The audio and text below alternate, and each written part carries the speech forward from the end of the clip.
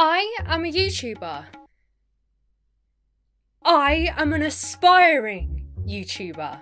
I mean, I have the main characteristics an ego, sexual deviance, and I clown on people for views.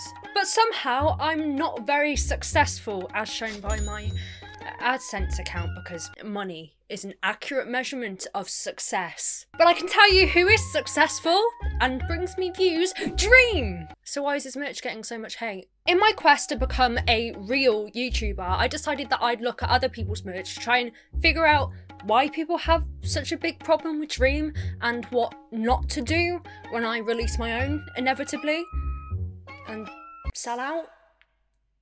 Now, there are many ways that you can design your brand, and usually it is meant to be representative of you or your fan base. This can be your name, allude to your sexuality, or simply highlight the reality of your merch. Nobody asked for it. In my opinion, the best merch is good quality, obviously, but also links to you or your fan base without it being plastered across your forehead. Like your name. But it can do this without inflating your ego like dubbing yourself an internet sensation because you're, you're you're meant to hide that part of yourself from your audience. That's why I make self-deprecating jokes. It's actually because I'm a narcissistic and not because I suffer from severe self-esteem issues. That would be what most commentary channels say because of course everything that I'm Alex does is bad. That is just written in the law. But unlike most commentary channels, I have an IQ above 70 and realise that it's most likely an ironic joke. I mean, I hope it is. But nonetheless, I respect capitalising on your sexuality. Wait. I wasn't meant to say that. Uh, I mean, um. How dare you profit off of your own marginalisation? You know, you're, you're clearly doing more damage to the LGBTQI plus community than the people that are perpetuating the narrative that gay people are only gay for attention and praise. Is that better? Did I do? Did I do good? Can you put? Can you put the gun down now? Honestly, I'm just wondering how many times Alex has to get cancelled before he brings out a eyeshadow palette, which will, in no doubt, be rainbow. I call this one poorly lip synced TikToks. I call this one leeching off of Minecraft YouTubers on Twitter. This one, um, using my curtains as a personality. oh, um, yeah. This is a this is a proto. This is a this is a prototype. If ironic self deprecation doesn't work, like dubbing yourself as an internet gaylord, you can always use blatant self deprecation, showing your awareness that you're not and never will be famous, or that nobody asked for your merch, especially not at those prices. Jesus Christ. Regardless, I like. I don't not like. Regardless, I have no opinion on the people above, and their merch drops always do well. Um, not that anyone I've known has ever looked up their specific earnings on the internet, no, that's never happened. Other than some blatant homophobia, these people have received little to no criticism, as far as I can see, despite the fact that the branding is quite simple and it's not glaringly obvious that it's a piece of YouTuber merch, even if it is just their name uh, across a jumper. But Dream?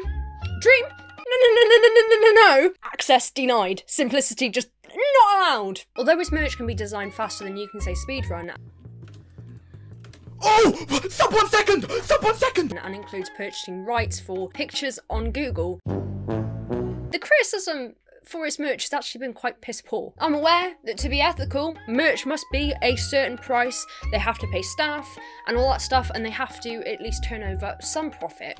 Otherwise, what what what's the point? We live in a capitalist society, boys. But think of the kids. Think of the kids that are to get their parents to buy this stuff and they're to beg and the parents are to spend all their money. Then the parents can just say no. Do, do, do people not understand that people have brains and they can say no to their children when their children want to buy something? It happened to me. I never, ever, ever got mer- merch or anything designer from my parents. Yeah, my oppression is worse than yours. Sorry for the lack of hot takes, but it's just true. That is Dream's brand, so that will be on his merch. And I understand that the prices probably should be lower, but there could be a good reason for that, that he's yet to explain away, and he probably will explain that because he likes to explain everything, that guy. However, I get a lot of the frustration comes from the simplicity of the branding and the designs of the merch, and that is warranted considering there are a lot of talented artists in the Dream community, which he could probably make use of. But the price of the bottles, surely a bottle doesn't need to be that much. Does it come with holy water? Does drinking it give you 19 million subscribers? Ah, the beloved t-shirts that I've seen ripped all over Twitter. I heard they actually pasted the PNG onto them, like like an already taken photo or something. Don't quote me on that. That might be misinformation. Pets. Uh, well, in this script, I've got Pyrocynical's merch scheduled for later on, so why are we talking about merch for pets? Wait. Not me actually kind of liking the beanie though. I gotta resist the urge to buy the bucket hat because that'll be the thing that tips me off the edge into becoming a raging cokehead. Not not university, not the impending deadlines. I'm not middle class. I think the coins are the only ones with the interesting design, as well as the 17mm milestone hoodie. But like I said, if it fits the brand, I think it wouldn't matter what Dream puts out. Its fan base would buy it anyway. That's what fan bases do. And I know that that's actually the main problem that a lot of people have, that they want the branding to be as good as the devotion that the stands have to dream. But since I became a student and got that student loan, which obviously I spend on drugs, alcohol, clothes, and food, I did manage to buy myself quite a lot of YouTuber merch to see how good it was. Oh, this one, this, this one, and also have a Memeulous hat, but um, I don't know where it is. I only got it because I like the design. I don't even watch George Memeulous's content. Don't tell him that. Not that he would watch anyway. Like PewDiePie's merch, his merch is quite inconspicuous and there are some nice designs on it. PewDiePie is someone who is quite pricey though, despite the cool designs, but I did manage to get myself one from eBay. So what have we learned today? It doesn't matter what you put on a t-shirt. If you're a YouTuber, someone will criticise it, but more importantly, some fucker will buy it. And with that, I thought I'd make my own and use my only personality trait to sell my branding.